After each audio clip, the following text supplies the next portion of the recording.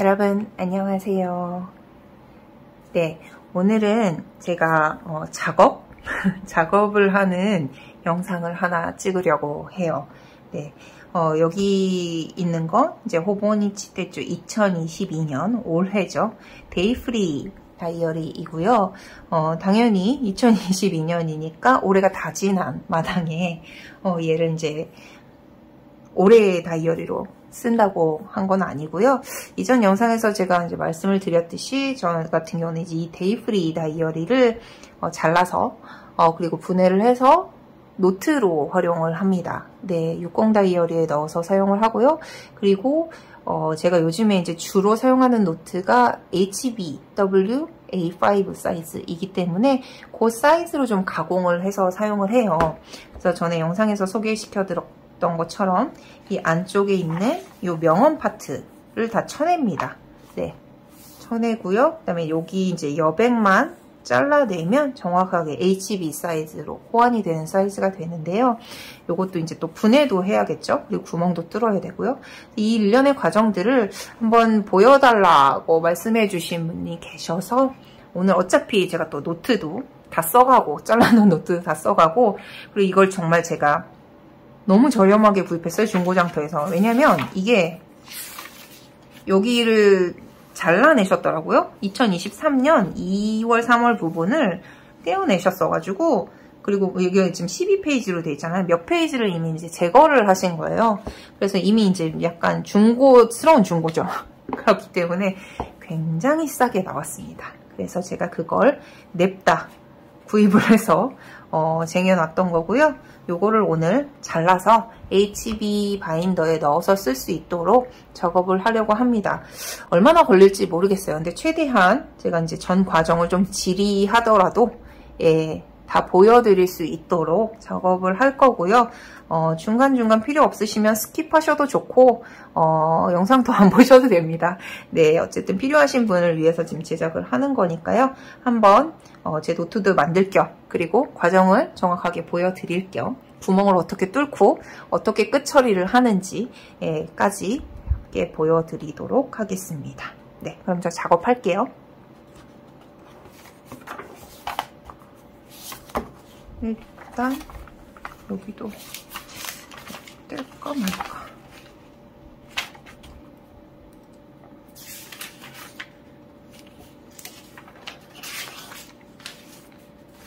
일단 일일이 이 실드를 다 떼어내줘야 되죠.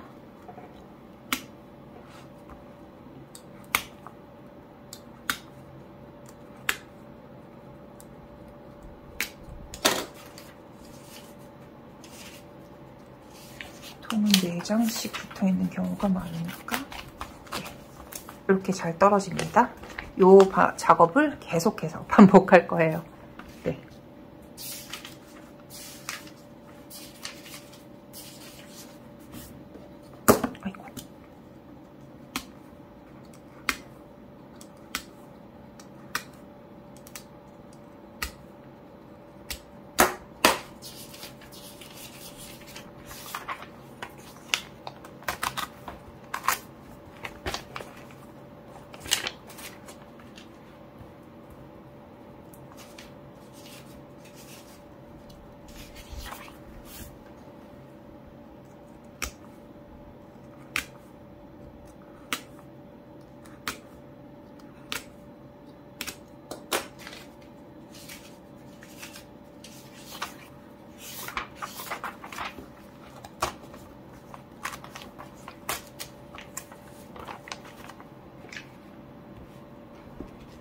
떼어낸 것들은 이렇게 계속 모아두고 있어요.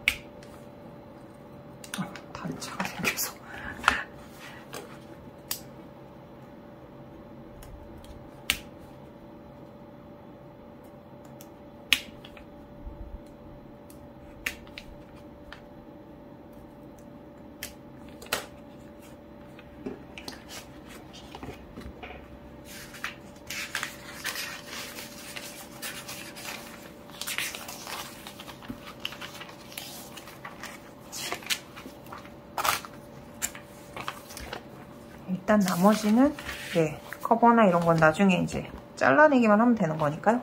나중에 이건 제가 처리를 하도록 하고요. 일단 네 이렇게 잘라낸 사용할 수 있는 노트가 나왔습니다. 이렇게 잘라내고요. 이게 순서는 여러 가지가 있어요. 여기가 지금 이 상태로면 A5 사이즈인 것이고 저는 이제 여기랑 여기를 잘라낼 거잖아요. 그러면 이제 HB 사이즈가 되는 건데 그리고 여기도 잘라내야겠죠. 이거를 이제 혹시나 그러니까 이거를 보통 이 가운데를 넣어서 이렇게 잘라내어도 되긴 한데 그러면 조금 지저분해요. 그래서 저는 여기를 살짝 잘라냅니다. 잘라내는데요. 이거를 먼저 하고 나서 구멍을 뚫어도 되는데 저는 구멍을 뚫고 나서 자를 거예요. 왜냐하면 어, 구멍을 뚫고 나서 자르면 여기가 조금 더 구멍과의 간격이 좁아지겠죠.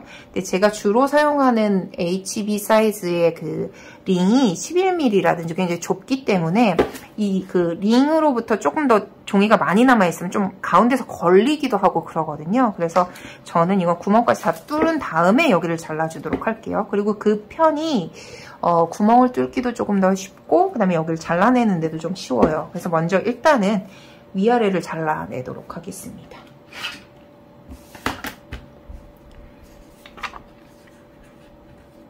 이렇게 한 다발씩 쓰기에도 좋긴 하죠.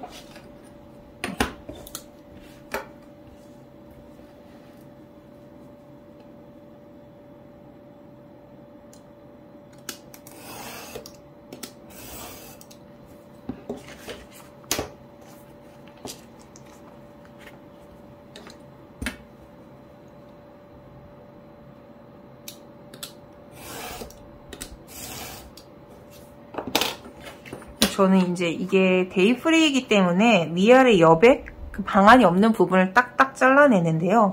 만약에 이 호보니치 Cousin 사이즈 일반 그 날짜가 써 있는 걸 사용하시는 경우라면요.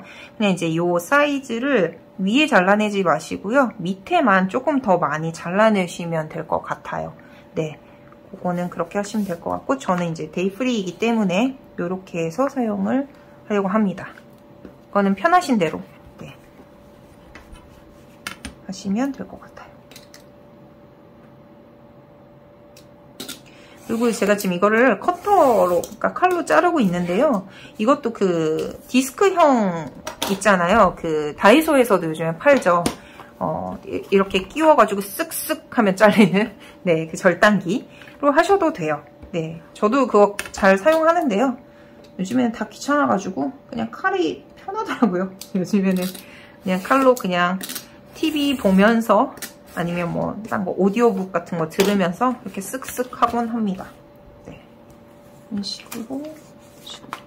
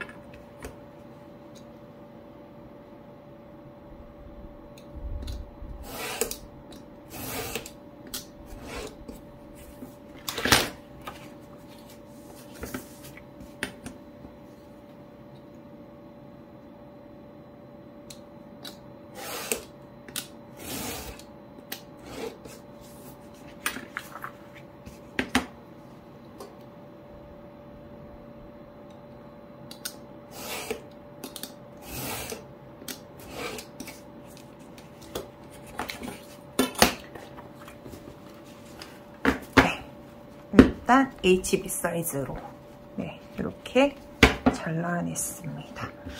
다른 조금 이따 다시 한번 쓸 거니까 일단 두고요. 이제 여기다가 구멍을 뚫을게요.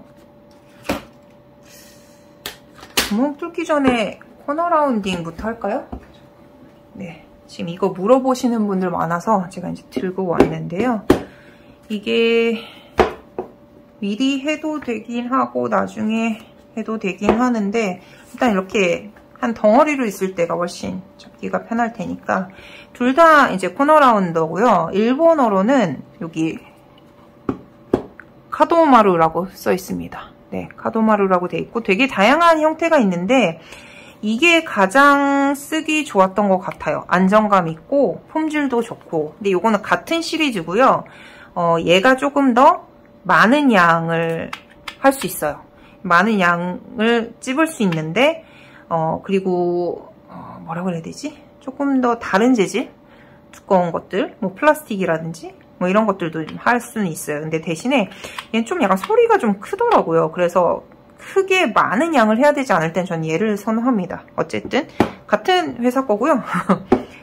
같은 회사에서 나온 거고 얘를 아, 지금 이렇게 각이 져 있잖아요. 특히나 자작을 하실 때는 자르거나 할 때는 이런 게 되게 약간 티가 날 때가 있거든요. 근데 이렇게 어, 코너 라운더로 그냥 이렇게 찍어주면 생각보다 음, 깔끔해요. 네, 이런 식으로. 저는 이 M 사이즈로 주로 하거든요. 네, 이런 식으로 찍어줍니다. 아, 근데 이쪽은 어차피 내가 이따가 다시 자를 거구나. 네, 이따가 해야겠다. 어쨌든 이런 식으로 예, 잘라주고요. 일단은 먼저 구멍을 먼저 뚫을게요. 저는 그러니까 구멍을 뚫는 펀치 같은 경우들도 되게 여러 종류가 있는데 이것도 언제 기회 되면 펀치 종류들을 소개시켜 드려도 좋을 것 같은데요. 그러니까 가장 제가 그래도 일반적으로 애용하는 거는 이 칼사에서 나온 펀치고 6공 다이어리용 펀치고요. A5 사이즈, 바이블 사이즈, 미니 사이즈 이렇게 세 가지 어, 크기가 있습니다. 근데 요 거 HB 같은 경우는 이제 바이블 사이즈와 같은 자리잖아요. 그래서 바이블 사이즈에 맞춰서 펀치를 하면 되는데요. 일단은 여기에 다 그 가이드선이 있어요. 그래서 A5는 여기까지 맞추고 여기가 바이블 사이즈, 여기가 미니 사이즈이기 때문에 이 선에 맞춰서 넣도록 하겠습니다. 네. 이렇게 해서 홈에다가 맞추면 되고요. 좀 다르면 이제 가운데다 얼추 맞춰서 하면 여기가 딱 자석이 있어서 딱 달라붙어요.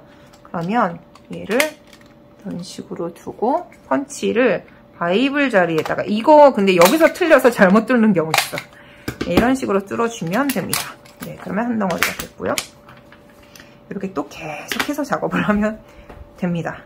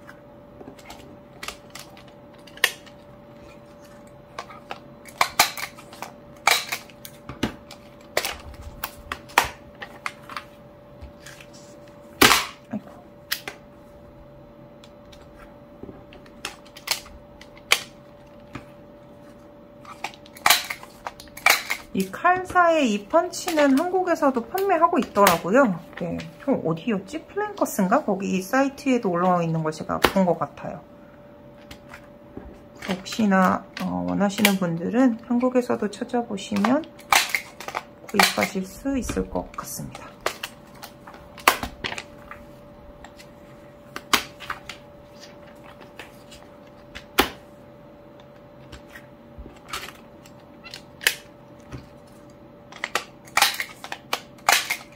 그리고 칼사에서 이 나온 이 시리즈는요. 60 다이어리용 얘도 있고요. 그 다음에 루즈리프용 뭐 B5, A5, B, 음?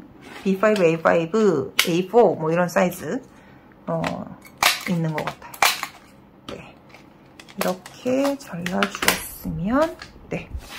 이렇게 해서 이런 식으로 되었죠. 그러면 이제 여기를 절단해서 이제 낱장으로 분리해 주도록 하겠습니다.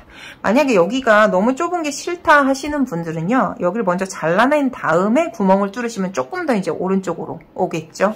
네, 저는 여기를 최대한 좁게 하려고 이런 거고요.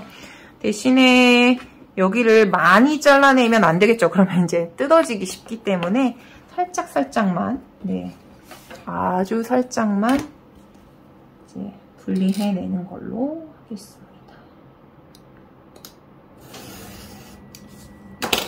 이런 식으로 하면 이런 식으로 이제 분리가 돼서 나오죠. 이런 식으로 다 잘라낼게요.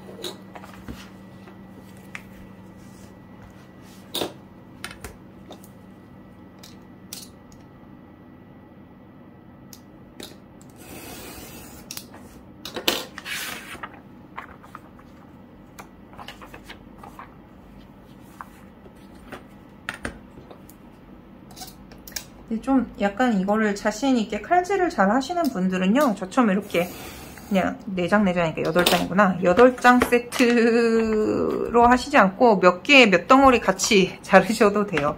근데 저야 뭐 네, 이게 조금 안전하고 편해서 그냥 이렇게 조금씩 자르고 있는 편입니다.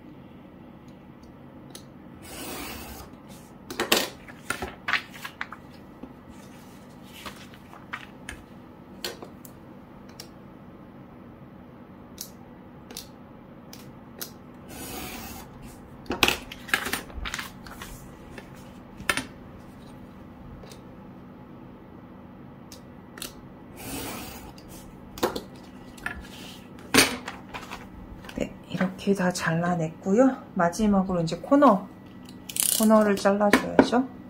근데 이제 혹시나 어, 참고로 여기다 해보자. 네, 참고로 아까 저는 이제 M 사이즈로 하는데 만약에 S 사이즈로 할 경우에는요. 이렇게 살짝, 어, 이건 좀 이쁘게 안 됐네. 네, 이렇게 살짝만 각도가 네, 되게 나오고요. 만약에 여기 이제 L 사이즈로 자른다고 한다면 이런 식으로 큼직하게 네, 라운딩이 되죠. 그리고 제가 이제 주로 쓰는 M 사이즈 M 사이즈로 라운딩하면 이 정도입니다. 이건 이제 원하는 대로 하시면 되고요. 용도에 따라서 나눠서 하시면 되는데 저는 이제 그 다이어리 같은 경우는 M 사이즈를 주로 쓰고 있어요. 네. 그래서 4개의 면을 지금 되게 이렇게 뭐라고 그래야 되지? 엄청 까끌까끌한 느낌이라고 해야 되나? 네, 거친 거친 느낌인데 이 상태로도 쓸 수는 있지만 이게 약간 라운딩을 해주면 완전히 그 네, 이미지가 바뀌어요. 엄청 사랑스러워집니다. 네, 이런 식으로 되죠. 네. 이렇게 계속해서 만들어주면 되겠습니다.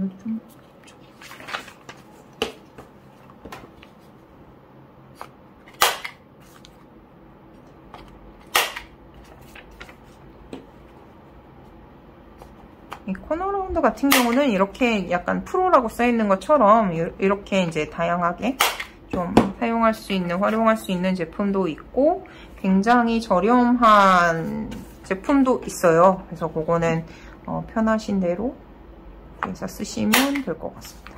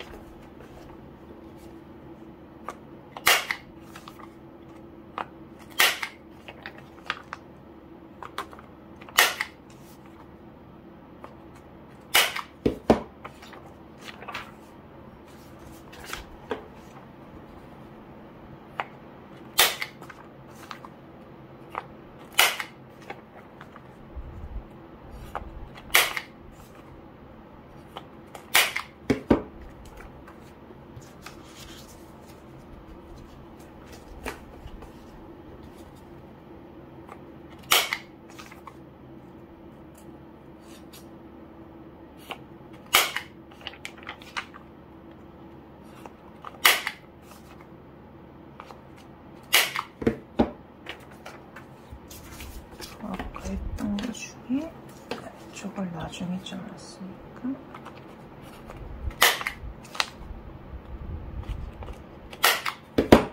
네.